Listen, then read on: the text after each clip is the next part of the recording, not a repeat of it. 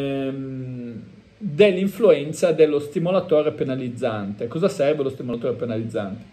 Abbiamo visto che ogni struttura è composta da un alimentatore eh, che quindi può essere il conflitto, l'alimentatore rappresenta il conflitto, eh, le strutture non cambiano quantitativamente, cambiano qualitativamente. Ecco, le strutture possono cambiare qualitativamente, cioè l'evoluzione, diciamo, eh, qualitativamente può cambiare, cioè eh, qual- che cosa vuol dire cambiare qualitativamente? Ridurre i conflitti e ridurre il, il, diciamo, e ridurre il senso del tradimento, no? Quindi più, perché ovviamente più forti sono i conflitti e più forte è il tradimento, più le persone tendono a vivere male, no? fondamentalmente.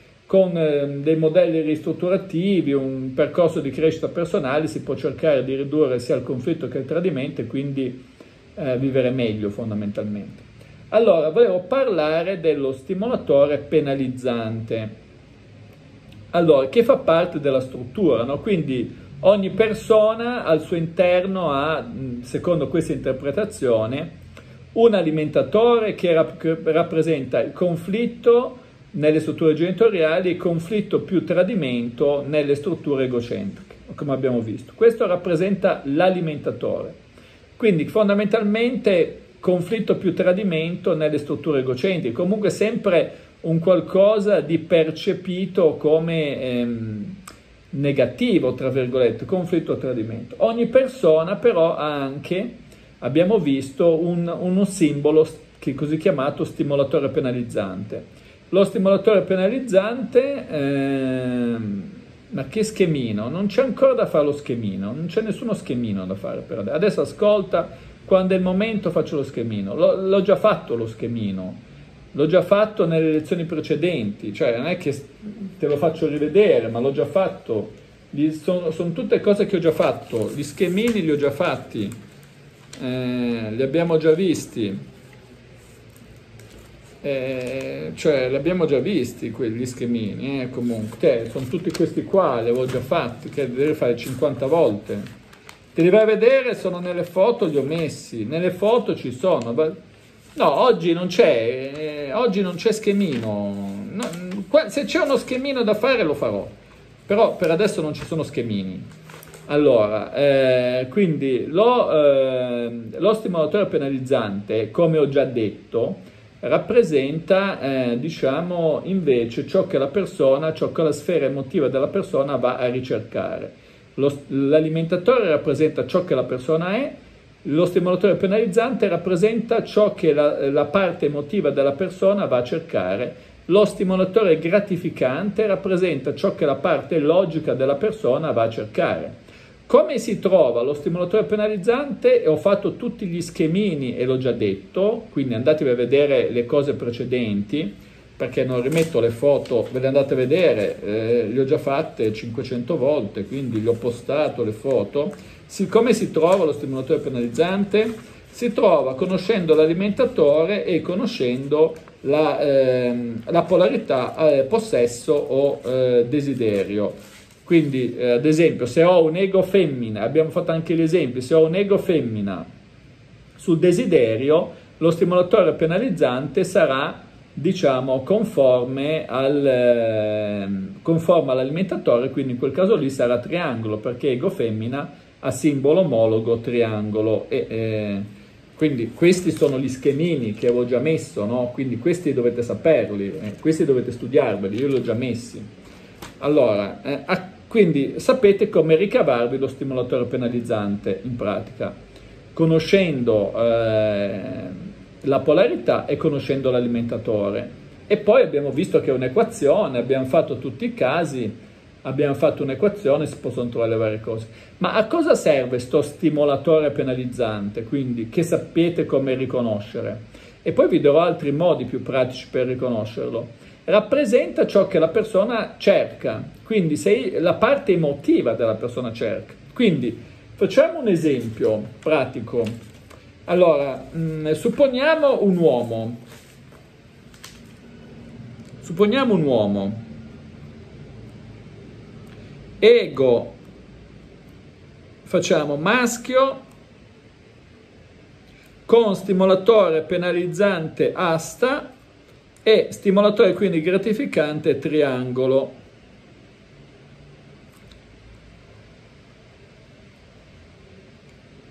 Ok, scrivetevelo casomai. Comunque sarebbe questo, uomo ego maschio con stimolatore penalizzante asta e stimolatore gratificante triangolo. Allora, cosa vuol dire? Che lui è ego maschio e quindi ha tutte le caratteristiche dell'ego maschio.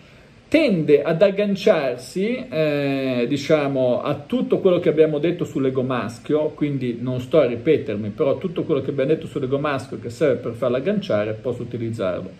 In più, conoscendo lo stimolatore eh, penalizzante, in questo caso il, l'asta, eh, so che il comportamento ad asta, diciamo, eh, aggancia la sua parte emotiva, ma, fa, eh, ma, sgancia la parte logica. Quindi eh, una, una cosa, un errore che ho visto fare tantissime volte, ho visto cadere molti soldati su questo fronte, è ho capito che il suo stimolatore è penalizzante ad asta e allora inizio a dirgli certo che tu sei un coglione, eh, sei un deficiente, con te non c'è niente da fare eh, ogni volta che fai una cosa la fai nel modo sbagliato, sei il solito cretino, cioè andare giù a bastonare in questo modo, no?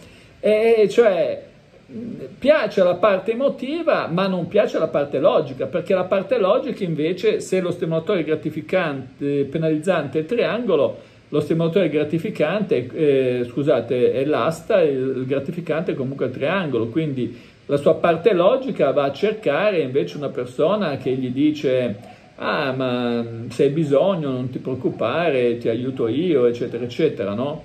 Quindi eh, non è che voi dovete, eh, capite che uno è penalizzato ad asta e iniziare a prendere la male parola, a parte che l'asta non è le male parole, è semplicemente amplificare i problemi negando la soluzione, con te non c'è niente da fare. Però tenete presente che ci va un rapporto, no?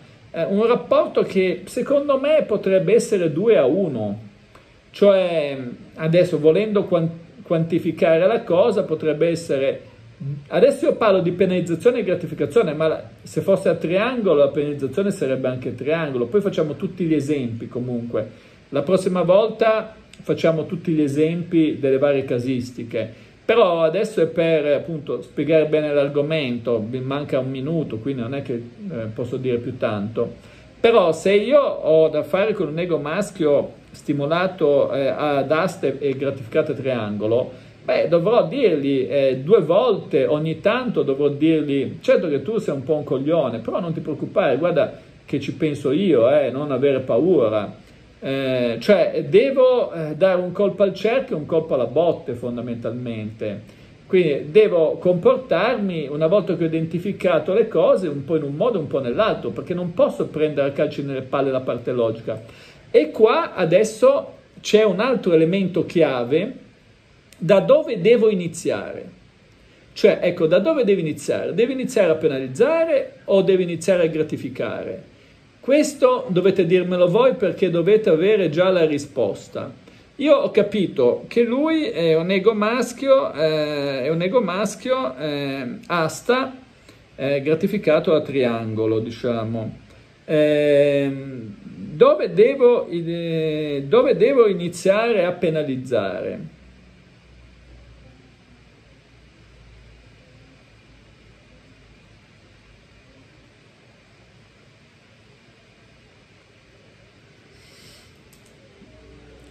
Eh, eh, sì, gratifico, ma perché? Sì, ok, è giusto, gratifico prima, ma perché?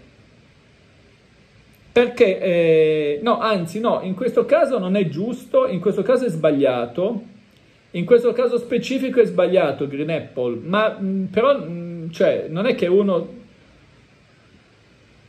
No, in questo caso inizio prima con la penalizzazione, in questo caso specifico, eh.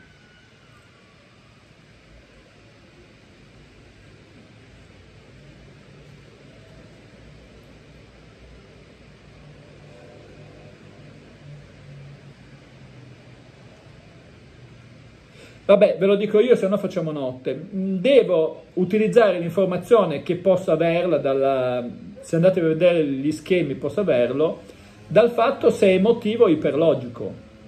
Cioè, in questo caso, per strutture, io non vi rifaccio gli schemi, andateveli a studiare, l'ego maschio-uomo eh, con penalizzante asta è una struttura emotiva e quindi, eh, siccome è emotivo, deve iniziare dal penalizzante. Quindi con gli emotivi devi iniziare dal penalizzante, prima penalizzo e poi gratifico. Con gli iperlogici prima gratifico e poi penalizzo. Cioè gratifico nel senso eh, metto in atto un comportamento simile, eh, simile al... Eh, quale caso?